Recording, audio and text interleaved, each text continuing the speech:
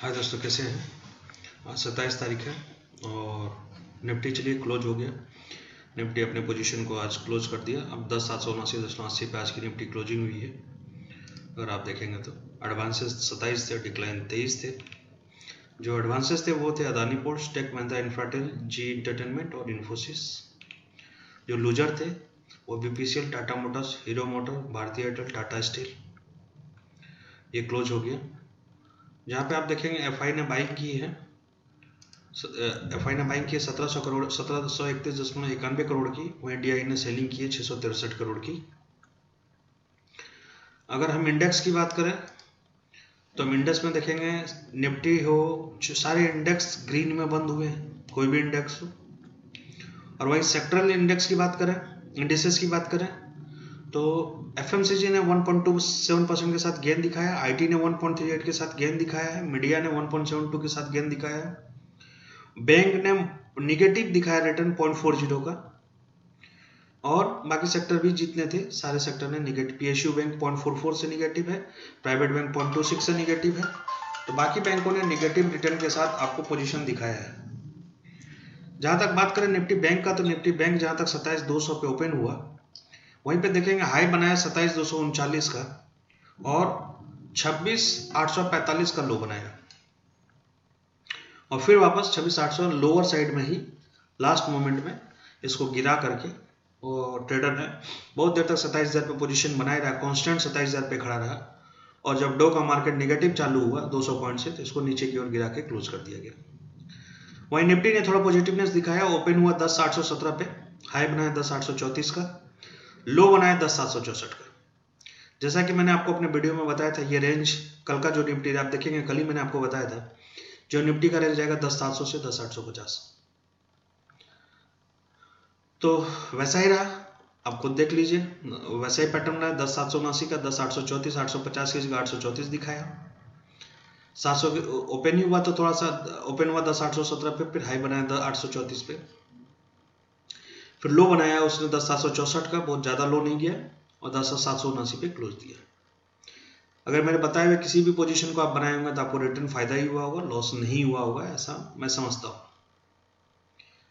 Nifty का return देखें तो Y T D two point three seven percent बता रहा है, जबकि वीकली निगेटिव है, और मंथली देखें तो वन परसेंट का रिटर्न बता रहा है।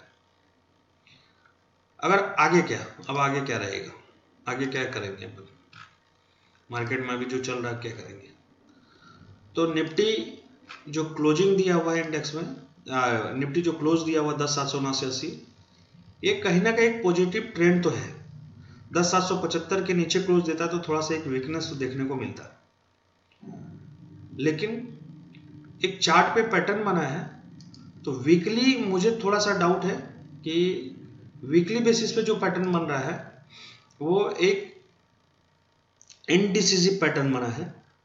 और जो मैं इस वीक की बात करूँ लास्ट वीक जो अभी क्लोज हुआ, इस वीक की बात करूँ, जो कि आज क्लोज हुआ तो आप देखेंगे इस वीक में ओपन हुआ था दस सात सौ उनासी दशमलव पंद्रह पे क्लोजिंग हुआ दस सात सौ उनासी दशमलव अस्सी में।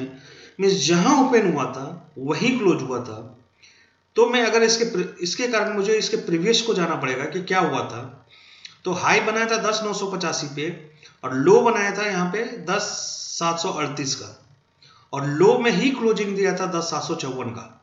मतलब इसके पहले जो कैंडल था, वो निगेटिव कैंडल था। और उसके बाद डिसीज़न नहीं ले पाया। और ये जो आप एक पैटर्न देखेंगे तो यहाँ से अगर मैं इसको वीकली पैटर्न में दिखाऊँ तो ये कंटिन्यूस एक फॉल हो रहा था। और यहाँ से एक फॉल होते हुए फिर से फॉल गया था। तो वीक बेसिस पे देखो वीकली बेसिस की बात करूँ तो हो सकता है आपको थोड़ा निगेटिव मैंने बहुत ज़्यादा निगेटिव नहीं, बहुत ज़्यादा पॉजिटिव नहीं। तो हो सकता है कि आपका जो वीकली कैंडल रहे, वो बहुत ज़्यादा स्मार्टनेस ने आपको फ़र्स्ट वीक में नहीं दिखाए। तो फ़र्स्ट वीक में हो सकता है कि न्यूट्रल डिसीज़न होकर के आपको निगेटिव पे क्लोजिंग दे। निगेटिव पे क्लोजिंग मतलब हो सकता है कि वीक की क्लोजिंग आपको, जो ये दस, सात, सौ, उनासी आप देख रहे हैं तो आपको हो सकता है कि ये कहीं ना कहीं आपको, अगर इस इस कैंडल की क्लोजिंग पे आप माने दस, छह, सौ, तिरानवे तो हो सकता है कि इस कैंडल को फॉलो करते हुए वो दस नौ सौ इकतालीस का हाई बनाए, हो सकता है, और दस छह सौ तिरानवे पे क्लोजिंग दे। तो इस कैंडल इस कैंडल के जगह पे इस कैंडल को ये फॉलो कर सकता है वीकली बेसिस पे। इनडिसिसिव कैंडल है बट टेम्परामेंट पॉजिटिव है क्योंकि अभी जो है बुक क्लोजर का डेज़ है, उसको कल का डेज़ मिलेगा और एक मंडे का डेज़ मिलेगा बाइंग के लिए। तो ये टू डेज़ है बाइंग के लिए बुक्स में पोजिशन बना के रखने के लिए। बाइंग चालू होगी। अब अब उधर डॉ में देखेंगे तो डॉ में थोड़े अच्छी खासी गिर, गिरावट देखने को मिल रही है फिर 450 पॉइंट टूटा हुआ है। तो एक जहाँ निगेटिव सेंटीमेंट है। एसजेएक्स निफ्टी को देखें एसजेएक्स निफ्टी न्यूट्रल 18 पॉइंट से दिखा रहा है। तो हम वीकली की बात कर रहे हैं वीकली कैसा पैटर्न रहेगा? तो वीकली आपको एक बार अब दिखाएगा क्योंकि मुझे नहीं लगता है कि दस जो इस कैंडल को फॉलो करेगा तो वो दस किसी भी हालत में मुझे नहीं लग रहा है कि दस नौ सौ इकतालीस को क्रॉस करेगा। और नीचे दस छह सौ तिरानवे पे की ओर दिखाएगा। तो हो सकता है आपका जो वीक का पूरा हो, दस नौ सौ इकतालीस से दस छह सौ तिरानवे का वीक की क्लोजिंग आपको दिखा सकता है। चलो, ये तो वीक की बात हो गई। अभी कल क्या करना है?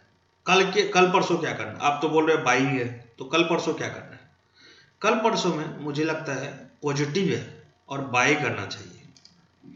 ऐसा मैं इसलिए बोल रहा हूँ, आप, मैं इंडेक्स को देख रहा था, ये जनवरी के इंडेक्स को देख रहा था।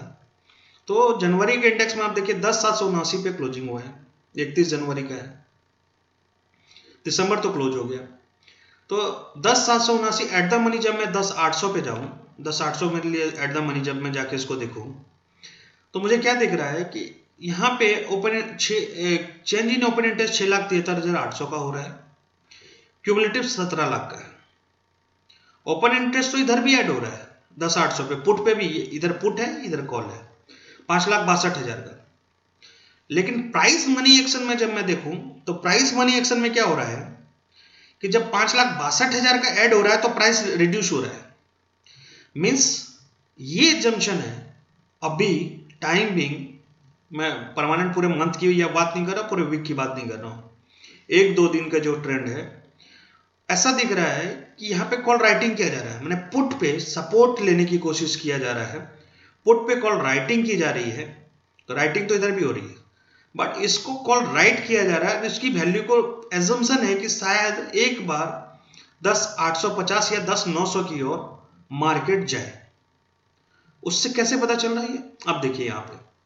दस आठ पे और दस नौ पे ओपन इंटरेस्ट एड भी हो रहा है। और प्राइस में भी आपको इंक्रीज मिल रहा है। इसका मतलब इधर हो रहा है, इधर कॉल पे बाइंग हो रही है, जिसके कारण रेट अपर साइड जा रहा है और बाय भी हो रहा है।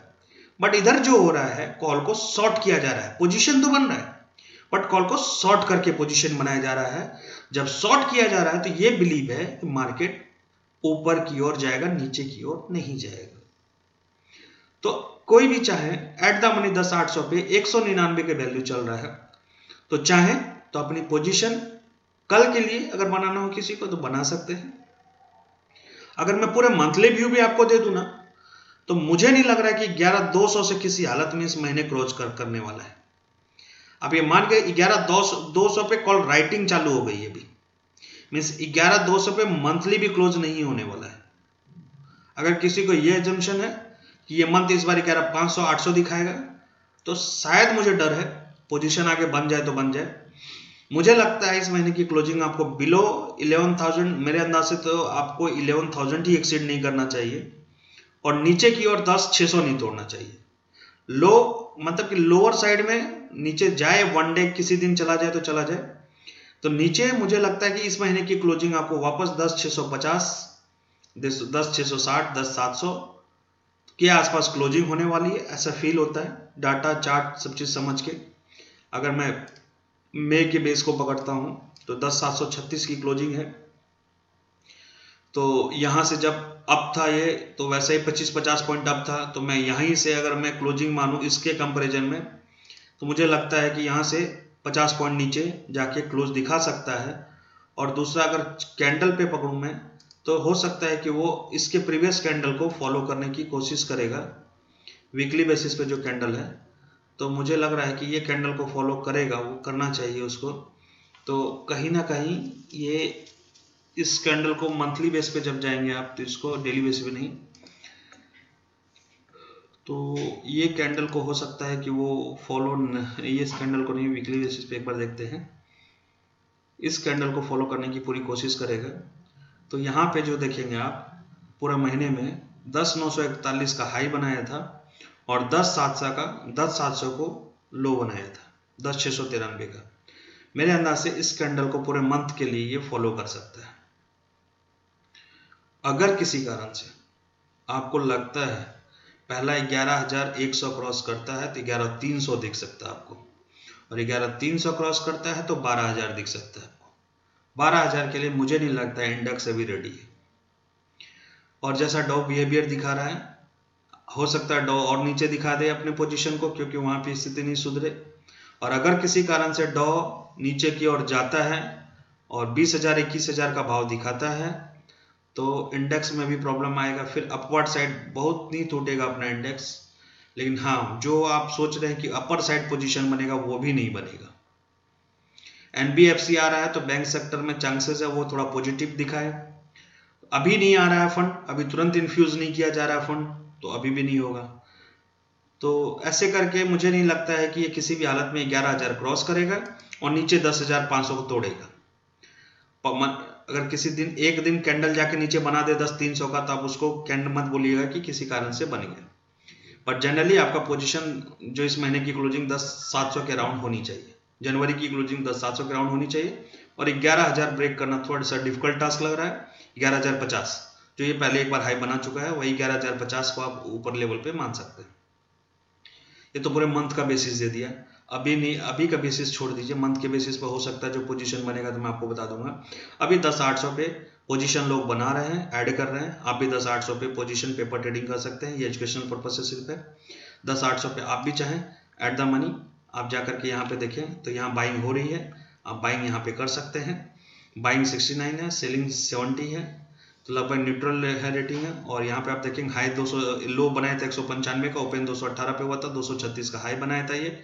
और छियासठ percent change in open interest है। ओपन इंटरेस्ट भी अच्छा है यहाँ पे वोलेटिलिटी भी 11 परसेंट दिखा रहा है। तो हो सकता है कि यहाँ पे एक अच्छा खासा पोजिशन बनाने से आपको फ़ायदा फ़ायदा दिखा सकता है। और अगर मैं दस, नौ सौ पे बताऊँ कि दस, एक बार दस सात सौ को भी देख लेते हैं। तो दस दस सात सौ पे देखेंगे तो बाइंग ज़्यादा है, चौवन हज़ार। लेकिन पर चेंज इन इंटरेस्ट सिर्फ़ थर्टीन परसेंट है। तो यहाँ कोई फ़ायदा नहीं होगा चेंज इन इंटरेस्ट ज़्यादा नहीं है। तो दस, आठ सौ पे हमने देख ही लिया। अब सिक्सटी सिक्स परसेंट है। और चेंज इन ओपन इंटरेस्ट एक बार एक बार दस, नौ सौ पे भी देख लेते हैं, जहाँ दो जगह मेनली बाइंग हो रही है। यहाँ पे छत्तीस परसेंट है। और यहाँ पे सेल की पोजीशन ज़्यादा है बाई की पोजीशन कम है। तो इससे दस, नौ सौ की जगह दस, आठ सौ ज़्यादा अच्छा लग रहा है। और अगर दस, सात सौ पचास भी एक बार देख लें तो दस, सात सौ पचास पे कोई पोजीशन ही नहीं बन रही है, ज़्यादा खास, पाँच परसेंट ही ओपन इंटरेस्ट है। तो दस, आठ सौ हर हालत में यहाँ पे दिख रहा है, दस, आठ सौ एक अच्छा पोजीशन बन रहा है। तो दस, आठ सौ कॉल साइड में अभी, अगर किसी एक, दो दिन की बात करें तो आपको यहाँ पे पोजीशन बनने से मिल सकता है। बट मैं आपको बता दूँ वीकली पैटर्न पे इनडिसिसिव कैंडल बना है। अगर कोई इसका मतलब जानते हैं तो आपको अच्छी तरह से मालूम होगा, इसके बाद वो किसी भी तरह पैटर्न ले सकता है, क्योंकि फॉल के बाद इसको नहीं मालूम था क्या करना है, जहाँ ओपन हुआ वहीं क्लोज हुआ तो जिधर भी लेगा 300-400 पॉइंट को दिखा देगा। तो आप उसी उसी तरह से आप तैयार रहिए कि आप किसी भी ओर जाए तो एक बार इसको क्लोजिंग है इसके लिए हो सकता है ये बाइंग पोजीशन पे दो दिन के लिए दिखा दे बट मेरा ये व्यू है कि इसको एक बार नीचे की ओर दिखाना चाहिए, क्योंकि यहाँ पे जो है नीचे साइड में हैमर पैटर्न है स्टिक देखेंगे आप तो लंबा बहुत ज़्यादा नहीं है बट जो बॉडी है वो नीचे की ओर शो कर रही थी, और उसके बाद पैटर्न बना है ये। तो अगर यहाँ का है कि सेलर पोजीशन हार चुका है, तब तो बाई पोजीशन बन जाता है। और सेलर इसके बायर अगर यहाँ पे नहीं उसको ज़्यादा सेल कर पाया तो बाई पोजीशन की ओर एक बार सिग्नल दे सकता है। तो आप यहाँ पे इस कोशिया से, इस इनडिसिजिव कैंडल से वीकली पैटर्न हो सकता है आपको यहाँ पे। या तो ऊपर देगा 300 या तो नीचे 300 400 पॉइंट दिखा देगा। जिधर दिखाना होगा, ये एक साइड में आपको ज़्यादा दिखाएगा, दिखा सकता है। इस व्यू को ध्यान में रखते हुए पोजीशन को कोई भी क्रिएट करे। अगर थोड़ा सा भी पॉजिटिव ट्रेंड में जाता है, आपको लगता है कि कैंडल पॉजिटिव ट्रेंड की ओर बन रहा है तो आपको वहाँ से चेंज कर देना चाहिए पॉजिटिव ट्रेंड में चला जाना चाहिए। और अगर निगेटिव ट्रेंड में बनता है तो आपको निगेटिव ट्रेंड अगर स्टॉप लॉस की बात करें तो अगर 10 800 की ओर 10 825 क्रॉस करता है तो आपको पॉजिटिव ट्रेंड में चला जाना चाहिए, आपको प्लस पोजीशन बनानी चाहिए। और अगर 10 750 तोड़ के 10 725 तोड़ता है तो आपको निगेटिव ट्रेंड में आ जाना चाहिए, नीचे की ओर पोजीशन बनाना चाहिए।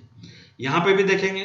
अगर मैं इसको डेली बेसिस पे देख रहा था तो यहाँ पे भी जो पैटर्न मुझे समझ में आ रहा है कि यहाँ से अप गया और यहाँ एक दबाव बन रहा है इस पे तो प्रेशर बन रहा है, नीचे की ओर प्रेशर ही बन रहा है। अगर मैं यहाँ पे देखूँ तो एक लोअर लो का पैटर्न ये बना रहा आवरली बेसिस पे यहाँ पे था दस सात सौ चौरासी, दस सात सौ सड़सठ, दस सात सौ, यहाँ पे देखेंगे दस सात सौ सड़सठ, फिर थोड़ा सा आप यहाँ पे, थोड़ा सा अब बनाया। तो आवरली पैटर्न भी देखेंगे तो यहाँ पे थोड़ा सा निगेटिव की ओर ही बन रहा था। तो चलिए, देखें कहाँ पे पोजीशन बनाता है। बट इनडिसिजिव पेंडल है, आपको बता दिया है। ऊपर की ओर अगर जाता है तो ऊपर इनडिसिजिव कैंडल होने के कारण बता रहा हूँ। अगर ये कैंडल पैटर्न नहीं होता तो आराम से डिसीज़न ले लेते, क्योंकि इंडेक्स में तो बाइंग बता रहा है। अगर मैं डेरिवेटिव बेसिस पे जाऊँ तो डेरिवेटिव बेसिस पे बाइंग है दस आठ सौ पे बाइंग करनी चाहिए। दस नौ सौ पे बाइंग हो रही है। बाइंग हो रही है, मैंने ऊपर साइड जाना है और फ्यूचर यहाँ पे पुट पे नीचे और सेल हो रहा है। और यही शायद पोजीशन सॉलिड होगा। यहाँ पे जो दिख रहा है डेरिवेटिव में, वही ओरिजिनल पोजीशन होता है। चार्ट पे तो कभी भी चार्ट चेंज हो सकता है। तो बाइंग पोजीशन कल के लिए बनाइए, जो होगा देखा जाएगा। पेपर फिर भी अपने फाइनेंशियल एडवाइजर से बात कर लीजिए। करके बनाए पेपर ट्रेडिंग करें, दस आठ सौ पे पोजीशन बनाइए। ज़्यादा डिस्कशन करने से, ज़्यादा चार्ट देखने से, ज़्यादा उलझन हो जाता है। तो चार्ट पे इंडिसिजिव डिसीज़न है। इंडिसिजिव डिसीज़न से कोई मतलब नहीं है। कल का पैटर्न अगर डॉ को देखेंगे तो डर जाएँगे और अगर ये सोचेंगे कि बाइंग आएगी फंड की क्योंकि क्लोजिंग है तो आप साइड भी बाइंग जा सकती है। तो दस आठ सौ पे कॉल पे बाइंग पोजीशन बनाइए यहाँ से जो दिखता है, मुझे यही ज़्यादा समझ में आता है। और आप देखेंगे आज और दूसरा चीज़ एक समझिए कि मार्केट आज निगेटिव था तो भी यहाँ पे कॉल राइटिंग चल रही थी। मतलब लोगों का ये बिलीव है कि मार्केट थोड़ा अपवाड ही रहेगा। तो ऐसा फील हो रहा है मार्केट अपसाइड जा सकता है अपवर्ड की ओर पोजीशन बनाइए। ग्यारह हज़ार क्रॉस नहीं करेगा। अगर आपको लग रहा है कि ग्यारह हज़ार प्लस की बात कर रहा हूँ तो नहीं कर रहा हूँ। तो आप दस आठ सौ के पोजीशन बना करके पेपर ट्रेडिंग कर सकते हैं। बाकी आप खुद समझदार हैं, आप भी देख सकते हैं, आप भी एनालिसिस कर सकते हैं। और आपको स्टॉप लॉस बता दिया, नीचे दस सात सौ पच्चीस, ऊपर दस आठ सौ पच्चीस। जिधर जा रहा है, उसके ऊपर जा रहा है, आप उधर पोजीशन बना लीजिए। वीडियो देखने के लिए बहुत बहुत धन्यवाद। ये सारे एजुकेशनल पर्पज से थे वीडियो।